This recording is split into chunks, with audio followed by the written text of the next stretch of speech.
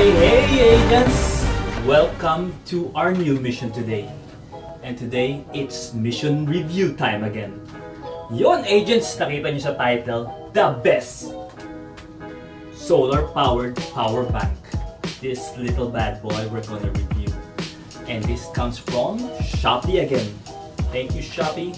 Ang, this is the pinaka, pinaka murang-murang power bank. Actually, nagamit ko na for at least 4 days. Nabuksan ko na actually guys. Actually comes from this na unwrap ko na, na unbubble wrap ko na. Tayo mag-unboxing. Nilagay ko lang ulit dito. So, i-unbox ko. Actually, ang ganda ng wrap nila with bubble wrap and stuff. I opened it up already. Buksan na natin to. So, yan. Yung packaging niya. From China siya pero maganda. Yung nakuha ko to sa Shopee, saka sa store na Q this? Q I think it's QC, QZ. Talagay ko lang dito agents at yung mga price niya breakdown. So basically this power bank is dati ano siya 299 yun ang price regular pero na slash. But it's 199 mura. Plus shipping wala kasi ako mga discount. So yung lumabas siya lang parang 230 lang. Sobrang mura. 8 agents ay, sa labas kung dito bababa feeling ko ng 400, 500 pwede pa rin ng doble lalo na sa malls. Baka mga 7 to 1,000 to. Alam mo yung mga patong to kasi syempre nagbabayad sila ng rent. Pero from Shopee direct ang mura.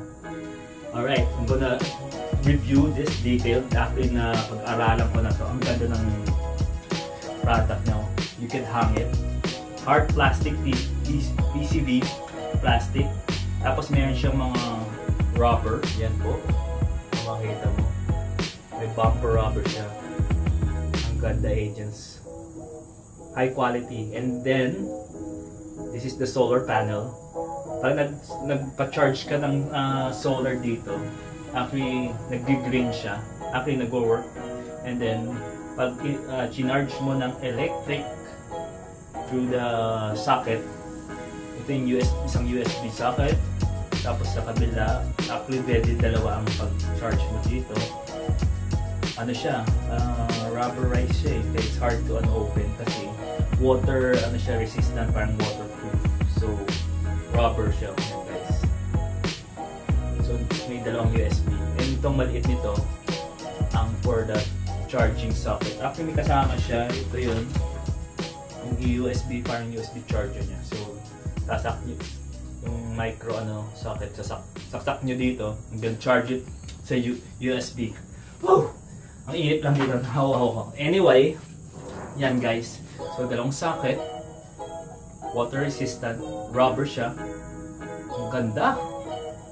Very pleased ako for the price. 199 wala kang makikita ng ganito 199 tapos high, high quality siya. And durable.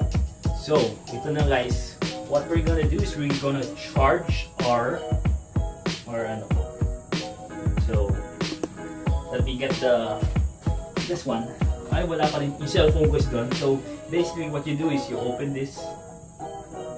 Siyempre yun nga yung mga USB ang hirap kasi talagang parang nakaano siya eh. Uh, very tight. Parang di pumasok yung tubig. So dyan yung sasaksak. And then sasarap nyo sa cellphone kung anong gadgets sasaksak for charging. Sa cameras yun po i-charge and I'll show you the function. So basically when you press this button blue light that means it's fully charged. Actually sinib sa akin fully charged. Thank you seller. Fully charged siya. And then when you press it long press. Another press. Has the light. Yan! Ang ganda ng light niya oh. Actually plus pag uh, another long press meron siyang blinker.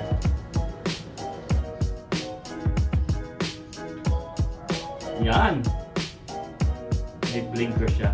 Tapos another long press will change the blinker. Yan off tapos ito pag nilong press nyo meron siyang blue light. Kaya may pera kong dala kanina pwede nyo i-check kung fake ang pera ang ganda guys oh alright yan guys oh Oh, feeling ko hindi nyo nakikita pag dito sa harapan, lalagay ko sa likod. Yan po ang security fiber ng pera. Halos lahat ng money meron yan. So, kung gusto niyo malaman, yan, sana nakikita nyo, much better yan sa likod. Ang security fiber ng money. Yan ang pera. Oh. Pag sa harapan din nakikita dito. Hopefully yan, nakikita nyo. Yan, so agents, ang ganda siya. Nadidetect nyo kung fake yung money or ano siya, legit, totoong pera. So ang ganda. Hindi lang siya meron light with blinker, SOS, SOS blinker, meron siya pang solar, meron siya pang charge ng sa electricity, plus meron siyang money detection. Kung fake or real. So agents, 10 out of 10 itong product nito. So kung ako, download Shopee, puntahan nyo yung company nyo, uh, QC, QZ, and buy this. Pinakamura to, 199. Wala kayong makikitang product na ganyang kamura. So, sulit na sulit siya, agents.